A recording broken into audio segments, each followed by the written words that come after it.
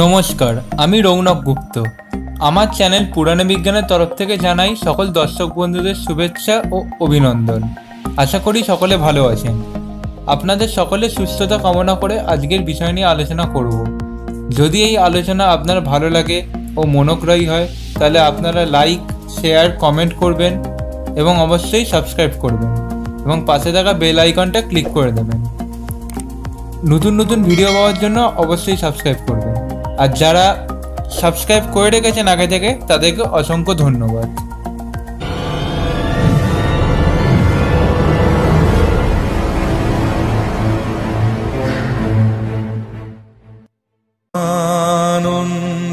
আনন্দলোকে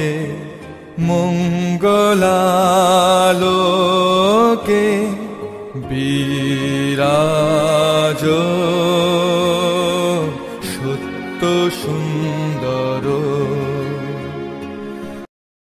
আজকের আলোচনার বিষয় হলো বিজলি মহাদেব মন্দির। হিমাচল প্রদেশের কুলু উপত্যকা থেকে বাইশ কিলোমিটার দূরে রয়েছে এই শিব মন্দিরটি। দু মিটার উচ্চতায় একটি পাহাড়ের ওপর এই মন্দিরটি অবস্থিত। যেখানে যেতে গেলে এক হাজারটির বেশি সিঁড়ি অতিক্রম করতে হয়। এই মন্দির দর্শন করার সঙ্গে সঙ্গে দর্শনার্থীরা এক অপূর্ব নৈসর্গিক সৌন্দর্য উপলব্ধি করেন। দেবদারু বৃক্ষের অরণ্য বেষ্টিত এই কুলু উপত্যকা। একবার পাহাড়ের চূড়ায় উঠলেই দৃষ্টি পড়ে কুলু আর পার্বত্য উপত্যকা তিনশো ষাট ডিগ্রি ভিউ। শিবরাত্রি ও শ্রাবণ মাসে মন্দিরে প্রচুর জনসমাগম হয়। সেই কারণে মন্দির প্রাঙ্গণে একটি মেলা অনুষ্ঠিত হয়।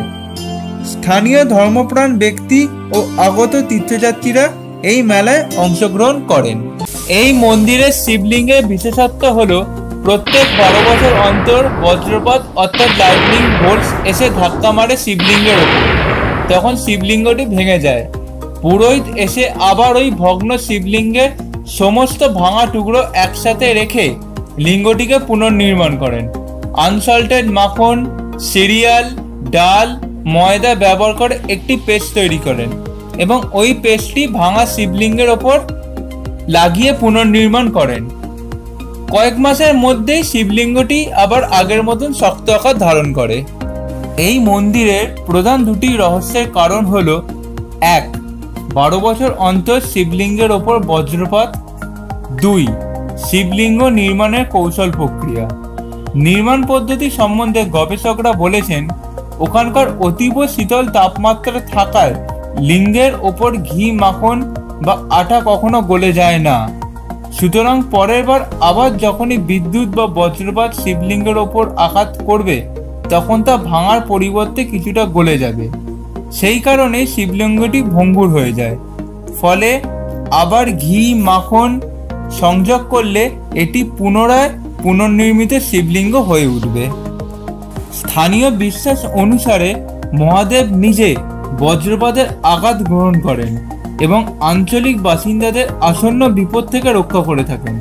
অর্থাৎ প্রাকৃতিক দুর্যোগ থেকে তিনি পিতার মতো নিজে আহত হয়ে সন্তানদের জীবন রক্ষা করেন। ঋগ্বেদে বলা আছে, শিব বিদ্যুৎ অর্থাৎ বজ্রপাতকে শোষণ করেন এবং সেই অঞ্চলকে বজ্রপাতের হাত থেকে রক্ষা করেন। এটা একটা ঐশ্বরিক আশীর্বাদ ভক্তদের জন্য। অর্থাৎ এটাই সায়েন্স যে শিবলিঙ্গ বজ্রপাতকে নিজ দেহে অ্যাবজর্ব করে নিতে পারেন। অনেকে মনে করেন শঙ্করাচার্য নিজেই এই শিবলিঙ্গ প্রতিষ্ঠা করেছিলেন হিন্দু ধর্মকে পুনর্জীবিত করার জন্য। রুদ্রের একটি মন্ত্র হলো, নম বিদ্যুতায়চ এখানে বিদ্যুৎ বলতে ইলেকট্রিসিটি পাওয়ার বা লাইটনিংকে বোঝানো হয়েছে। গ্রীষ্মকাল হলো এই মন্দিরের উপযুক্ত সময়। বর্ষা ঋতু হলো খুবই সাংঘাতিক, কারণ এই সময়ে প্রবল বৃষ্টিপাত এবং বজ্রাঘাতের সম্ভাবনা থাকে। আর শীতকালের আবহাওয়া একেবারেই অনুকূল নয়, কারণ ওই সময় মন্দির সংলগ্ন অঞ্চল হিমাঙ্কের নিচে অবস্থান করে থাকে। এবছরে অর্থাৎ দু হাজার একুশ সালের দশই জুন, বজ্রপাতের আঘাতে শিবলিঙ্গটি চূর্ণ বিচূর্ণ হয়ে যায়। সেদিন ছিল বৃহস্পতিবার অমাবস্যা তিথি। সন্ধে ছটা চুয়ান্ন মিনিটে এই প্রাকৃতিক দুর্যোগটি ঘটে থাকে। গবেষকদের মতে, বজ্রপাত খুব স্বাভাবিক ঘটনা। পাহাড়ের অধিক উচ্চতা এবং উন্মুক্ত উপত্যকার কারণেই বজ্রপাত ঘটে থাকে। তবে রহস্যজনক ঘটনা হলো, বারো বছর অন্তর কেন এই বজ্রপাত ঘটে, সেটা আজও রহস্যাবৃত।